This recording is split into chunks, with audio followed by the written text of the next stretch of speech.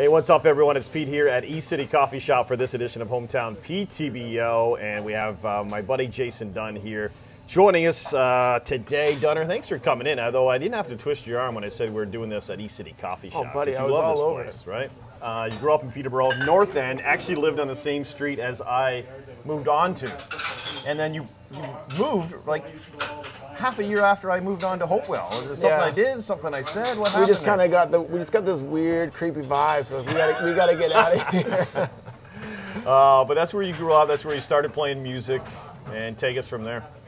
yeah, um, actually, I grew up in the South End first. you really? I did. Okay. Yeah. All right. And Now when I was coming out. 13, when I was 13, uh, I moved to Hopewell, and uh, I was playing music a little bit before, but that's where I kind of got my first band started on Hopewell. And What uh, was the name of the band?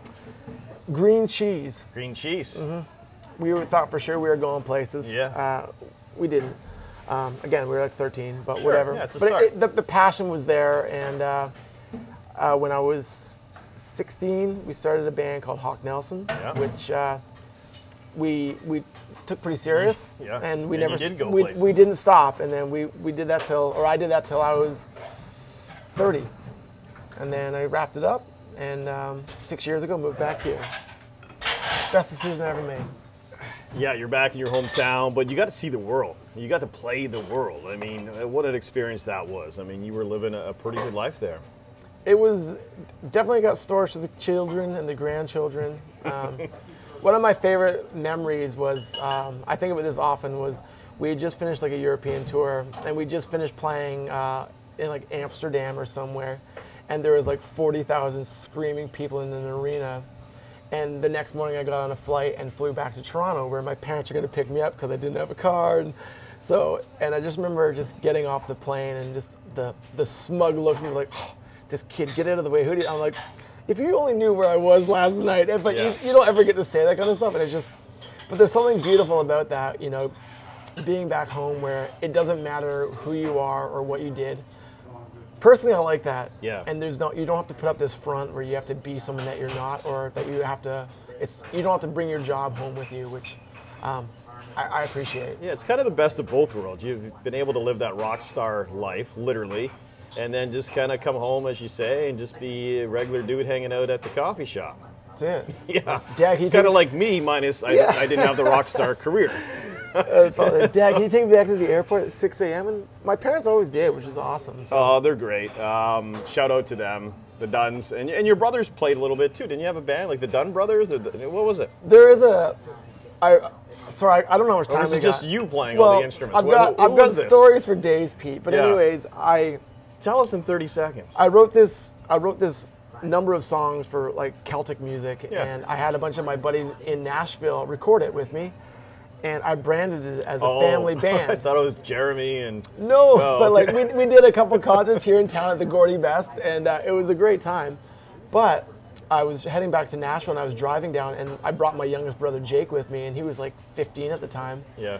And we got stopped at customs and the border guy who was like a young guy hot shot right? And he's Sure. like uh, why are you going to nashville? I'm like i live there. Who's this? This is my brother.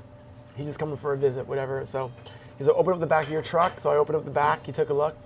He comes back around. He's like i'm going to ask you again but this time tell me the truth. He's like why are you going to nashville? I'm like uh, i live there. And he's like well tell me why your brother's face is on the back of all these cds so i had all these cds and i'm like sir, you're not going to believe me when I tell you, like, that's not a real band. like, I was just, he thought I'm bringing them down, smuggling them down to Nashville to play music, but I was like, Did you, have, did you have to break the news the Allman Brothers aren't all brothers Oh, either? I was just, it was terrible. But, or maybe they are. I, I don't know. oh no, but all my brother's faces were on the CD. Yeah, yeah. And so I just, yeah, anyway. That's a good story. It made for a good story. I like that. Who, who's a band you came across? We asked Neil Sanderson this a couple episodes ago about. I mean, Bruce Springsteen showed up at one of his concerts once. Uh, Gene Simmons from Kiss. Like, who have you shared a stage with, or been able to get up on the stage with and play? One tour we were on, um, we were in, uh, I think it was Phoenix or, or Denver, and it's one of those places like kind of in the West.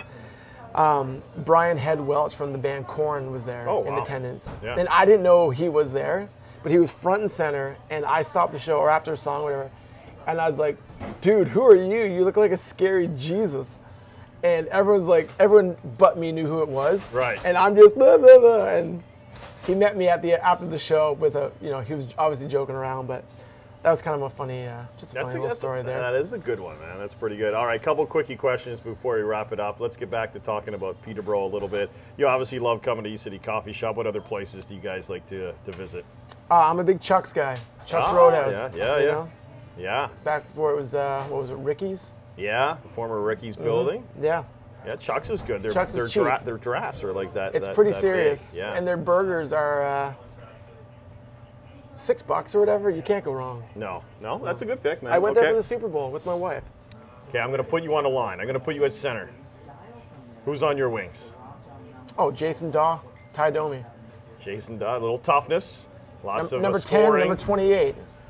Uh, Or was Domi eight Domi back in the wore eight for Yeah, the in the but day, yeah. Jason Dawe, which you probably had the poster on your wall, the. Dawson, Dawson poster. Uh, and Ty Domi, okay. Two Jasons and a tie. Gotcha.